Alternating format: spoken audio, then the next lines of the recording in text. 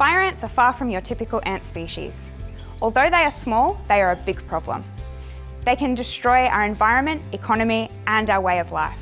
They not only attack our pets and native wildlife, but also pose a serious threat to human health. That is why everyone living and working in southeast Queensland needs to play their part in the fight against this super pest.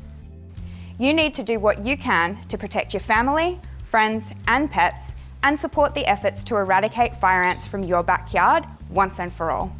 Fire ant treatment requires the whole community to take part. So, what do you need to do? When out enjoying your backyard and neighbourhood, have a look around you. Are there any suspect looking mounds in the grass, garden, around taps, driveways, or utility pits? Unlike most ant mounds, fire ant mounds don't have an entry or exit hole. If you find a suspect nest, put on a long sleeve shirt, pants, and enclosed shoes, and lightly poke the nest with a long stick. Observe the ants that come out. If they're fire ants, they will swarm when disturbed and are coppery brown in colour. Also look for another distinct feature. The fire ants vary in size, ranging from 2 to 6 millimetres. If you believe you have found a fire ant nest, you need to let us know. Under the Biosecurity Act 2014, you must do so within 24 hours. You can also provide us with photos of the nest or ants. Submit a suspect ant report online or call us at 13 25 23. After reporting, you have a few options. You can purchase fire ant bait and treat them yourself, or hire a licensed pest manager. A range of fire ant baits are available at local and online retailers and through pest chemical suppliers. The bait's quite safe to use, but always follow the instructions on the label. As you may know, fire ants are nasty.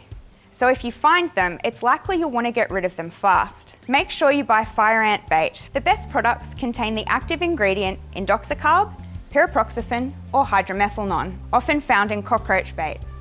It won't kill the nest instantly, but you should see results within a few days with full nest death in four weeks. You can also call a licensed pest manager to treat the fire ants for you, as you do with termites and cockroaches.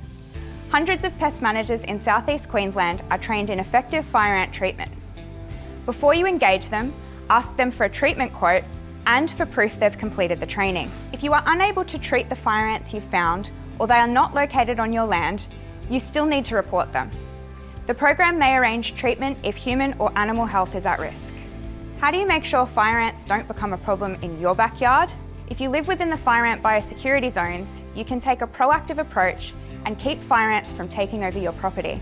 Proactive treatment calls for a different product and treatment regime. You or your licensed pest manager should use a fire ant bait treatment containing S-methoprene or pyriproxyfen.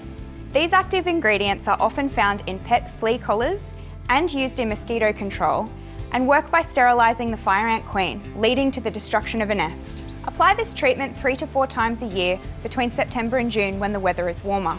This will greatly reduce the chance of fire ants taking over your property. Nests may still appear from time to time, but the colonies will not survive. There are a number of ant baits available on the market. Before you buy it, make sure it's made specifically for fire ants and approved by the Australian Pesticides and Veterinary Medicines Authority. You can do this by checking our website for a list of the approved baits and when and how they should be used. Fire ants are everyone's responsibility. Take them out before they keep you in.